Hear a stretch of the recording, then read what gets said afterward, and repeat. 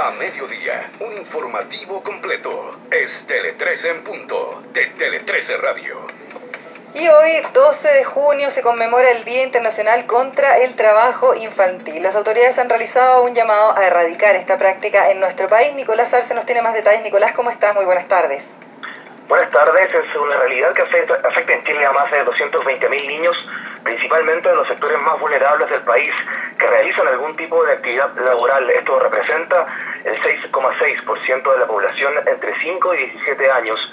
En el mundo las cifras cada vez son más preocupantes. Según la Organización Internacional del Trabajo, hay más de 215 millones de niños que desarrollan labores de adultos, principalmente en el sector de la agricultura, que concentra el 60% del trabajo infantil.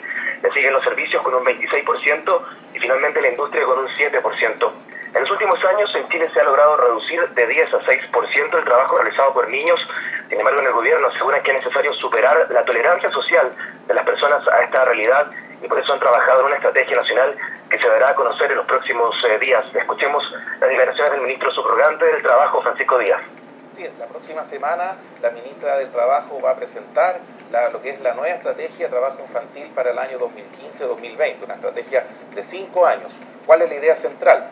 Chile ya hizo las adecuaciones legales. Tenemos un buen marco legal para, ojalá, erradicar el trabajo infantil.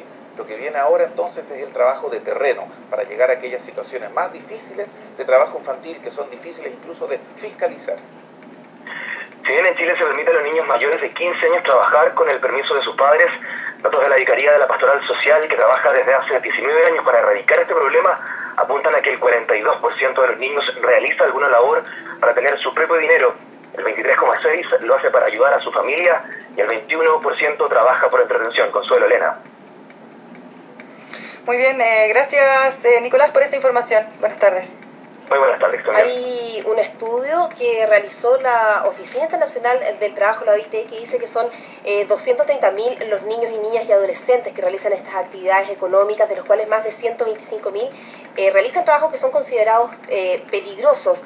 La, mm, según una encuesta de actividades de niños y niñas y adolescentes de la Oficina Internacional del Trabajo, un 6,9% de la población de 5 a 17 años eh, realiza esta actividad económica. El gerente general de una fundación que se llama San Carlos de Maipo, que realiza trabajo en comunidades con niños que realizan trabajo remunerado, y él se llama Marcelo Sánchez, explicó que a lo menos uno de cada dos niños que trabajan en nuestro país lo hacen al margen de la ley con graves consecuencias para su desarrollo, incumpliendo de esta forma los compromisos que los consagran no solo en la Convención de los Derechos de los Niños, la cual fue formada por nuestro país, sino que también en la legislación chilena, y esta cifra empeora naturalmente cuando no se tienen antecedentes de los segmentos que están fuera de la ley. Sin embargo, las cifra que más preocupa a la Fundación San Carlos de Maipo es que se estima en que cerca de 4.000 son los menores afectados por la explotación sexual comercial infantil. Dicen, la cifra es una proyección de un estudio de hace más de 10 años que no ha sido actualizado y que probablemente no incorpora